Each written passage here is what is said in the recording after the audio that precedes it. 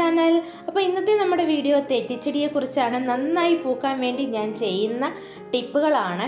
അപ്പോൾ നമുക്ക് വീഡിയോയിലോട്ട് പോകാം. ചാനൽ ഇഷ്ടമായെങ്കിൽ സബ്സ്ക്രൈബ് ചെയ്ത് ബെല്ലൈക്കൺ ഓൾ ചെയ്തിടുക. എന്നാൽ ഞാനിടുന്ന വീഡിയോസിന്റെ നോട്ടിഫിക്കേഷനൊക്കെ നിങ്ങൾക്ക് ലഭിക്കുന്നതാണ്. ഈ ചെടിയെക്കുറിച്ച് പറയുവാണെങ്കിൽ അധികം കെയറിങ് ഒന്നും വേണ്ട. വർഷം മുഴുവൻ ധാരാളം പൂക്കൾ തരുന്ന ഒരു പ്ലാന്റ് ആണ്. ഇതിനെ നമ്മൾ മെയിനായിട്ട് ചെയ്യേണ്ടത് ഇതൊന്ന് പ്രൂൺ ചെയ്ത് കൊടുത്താൽ മാത്രം മതി.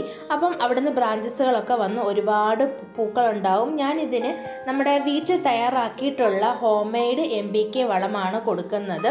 പിന്നെ ദാണ്ട ഇതുപോലെ ചെറിയ ചെറിയ ബ്രാഞ്ചസുകളൊക്കെ പൊട്ടി വന്ന് ധാരാളം മൊട്ടുകൾ ഉണ്ടാവും അപ്പം ഇതുപോലത്തെ ചെറിയ കമ്പ് മതി നമുക്ക് നട്ട് വേര് പിടിപ്പിച്ചൊക്കെ എടുക്കാൻ ഈ പ്ലാന്റിനെ പല പേരുകളിലാണ് അറിയപ്പെടുന്നത്. അതുപോലെ തെറ്റി തെച്ചി എന്നൊക്കെ പറയും.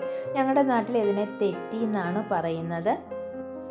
ഇതിന് പൂവിടാൻ വേണ്ടി നന്നായിട്ട് സൂര്യപ്രകാശം ഇതിന് ലഭിക്കണം. സൂര്യപ്രകാശവും വാട്ടറിങ്ങും നന്നായിട്ട് വേണം.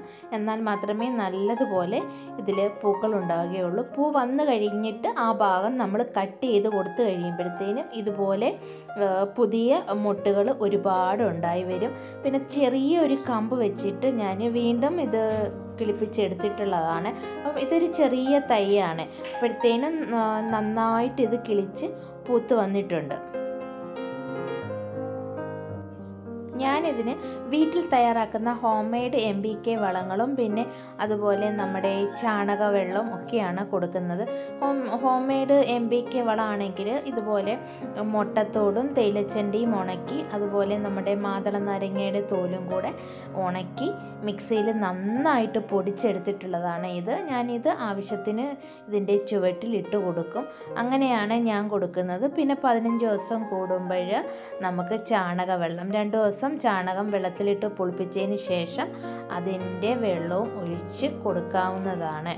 അപ്പം നന്നായിട്ട് പൂവിട്ട് വരും. നമ്മൾ ഇതിന്റെ കമ്പുകൾ നട്ടാണ് തൈകൾ ഉണ്ടാക്കിയെടുക്കുന്നത്. നമ്മൾ കമ്പുകൾ സെലക്ട് ചെയ്യുമ്പോഴത്തേനും ഇതുപോലെ അധികം മുറ്റാത്ത കമ്പുകൾ വേണം നമ്മൾ കട്ട് ചെയ്തെടുക്കാൻ. അപ്പം ഞാൻ ഇതുപോലത്തെ ഒരു കമ്പ് കണ്ടല്ലോ ഇതുപോലെ വേണം നമ്മൾ കട്ട് ചെയ്തെടുക്കാൻ. ഒരുപാട് മൂത്ത കമ്പായാൽ വേര് പിടിച്ച് വരാൻ ഒരുപാട് താമസമെടുക്കും. അപ്പോൾ ഇങ്ങനത്തെ കമ്പുകളാകുമ്പോഴത്തേനും പെട്ടെന്ന് വേര് പിടിച്ച് കിട്ടും. ഇതുപോലത്തെ ഒരു കമ്പ് മതി നമുക്ക് വേര് പിടിപ്പിച്ചെടുക്കാം അപ്പോൾ ഞാൻ ഇങ്ങനെ ഞാൻ കട്ട് ചെയ്ത് ഞാൻ വേര് പിടിപ്പിച്ചെടുത്തിട്ടുള്ള രണ്ട് പ്ലാന്റുകളാണ് ഇത്. ഇത് ഞാൻ പിന്നീട് ഞാൻ തറയിലാണ് നടുന്നത്. അപ്പോൾ നമുക്ക് ഇതിന്റെ ലീഫുകളെല്ലാം ഇതുപോലെ ഒന്ന് കട്ട് ചെയ്ത് കളയണം. കാരണം മുകളിൽ രണ്ട് മൂന്ന് ലീഫ് മാത്രം വെച്ചാൽ മതി.